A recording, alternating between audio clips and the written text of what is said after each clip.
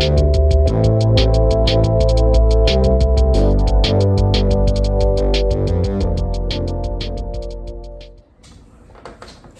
New Liberty. Um, I just wanted to join you guys with worship today and lead you guys in a couple of songs.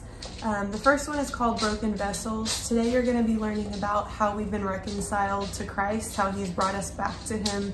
And that's been on my heart a lot lately, just that, that word reconcile, um, to bring back. And uh, especially now during everything that's going on, I think that's something we need to be reminded of, is that no matter how far gone humanity can get, God is powerful enough and uh, mighty enough to always bring us back to him.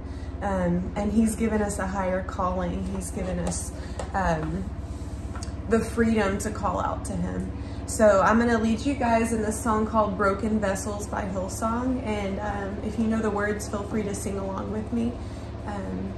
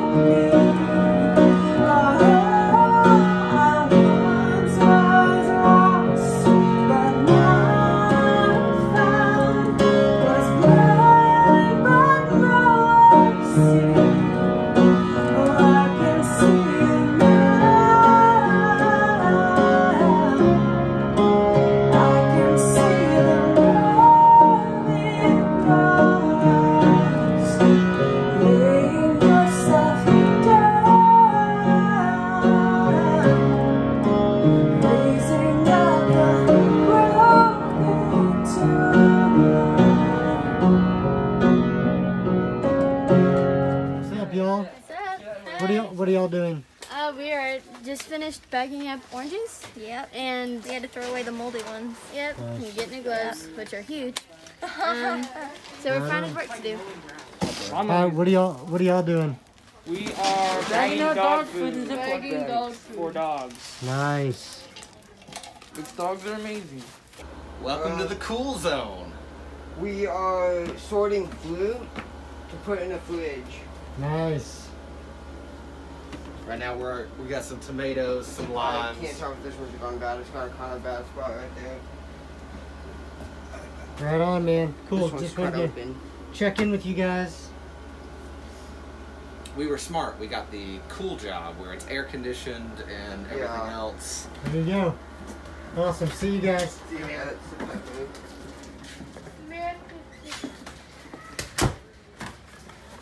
What's up, Kaylee? What are you doing? I'm boxing food. Boxing food. hey, what's up, NL students? What's up? Where uh, Jason and I are picking up some Chick-fil-A for our City Reach Garland. We are at Five Loaves Food Pantry in Sachse. Um, Jason knew the lady there and he was able to uh, hook us up with the opportunity to serve at Five Loaves. So hopefully we'll be able to do this a lot more in the future with our youth ministry. So yes. be ready for that. So our theme verse, our, scripture this week that we're going to focus on is in Colossians chapter 2. Um, and I'm gonna have Jason read a portion of that. Um, uh, one thing that we did that we've done is we've each week we have explained a new way to read scripture. So when you read the Bible, there is there is a certain way that I when I read it, I can I can study it. So we talked about asking ourselves four questions. You know, what does the Bible say about God? What does this text say about about humans? What does this text say about what God is doing? And what does this text say that humans should do or are doing? And then last week we talked about soap. And today you just saw a couple of uh, videos of some students serving at Five Loaves. And so today Jason is going to read us the script, uh, a part of the scripture from Colossians. And here is another method, which is highlight, ex uh, explain, apply, respond. And so I'm going to have Jason read the highlighted portion of the text today uh, out of Colossians. So Jason, take it away. All right. So Colossians 2, verses 6 and 7, alive in Christ. Therefore, as you received Christ, Jesus the Lord, so walk in him, rooted and built up in him, and established in the faith, just as you were taught, abounding in thanksgiving. Awesome. Yeah. Well, speaking of abounding in thanksgiving, I think our order's here. Yes. Yes. Yes, that's it. Thank you so much. We actually don't have plates. We're out of plates. That's fine. That's all right. Thank you. Yeah. Hey, do, it, is it, do we, can we get any Chick-fil-A sauce or anything? Any other sauces? Um, barbecue? Or is there a honey barbecue or a different barbecue? We have honey roasted and the regular barbecue. Both, please. Okay. Thank you. Thank you. awesome. Sorry. So anyway, yeah. that was a scripture. So yeah, um, one thing, Jason, that stuck out to me when it comes to like explaining is that in the way that you have received Jesus, to walk in, walk mm-hmm. in that. And when I think of yeah. when we accept Christ, it's not just a one-time decision that we make, but it's a posture of repentance, recognizing where I was and where Christ brings me.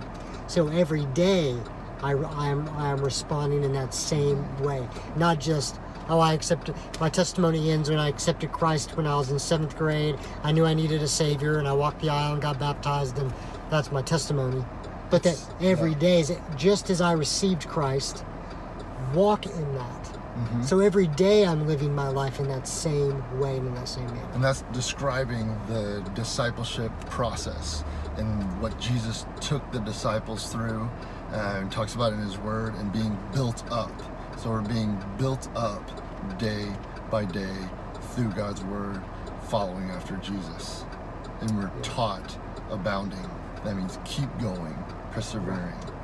And that's why it's so important, you guys, that, that we're not able to see each other, that we watch up, we, we watch these YouTube videos, we, we, um, we do the Bible app with each other, that we're keeping in communication with each other. Because if we're not around teaching, then there's a good, we're not educating ourselves. If we're not studying the Word of God, if we're not hearing it taught, we have to ask ourselves: Are we being built up? Or are we are we growing in our sanctification? Are we learning more about God, learning more about others, growing in our love for Him? If the if the teaching is not happening, then we have to ask ourselves: Is there is building up happening? Thank you so much. Have a good day. You too. Marty. Yes. Yes. So anyway, um, we just wanted to record that real quick on our run. We had some time, and so we're going to just bring you into what the day looks like for us.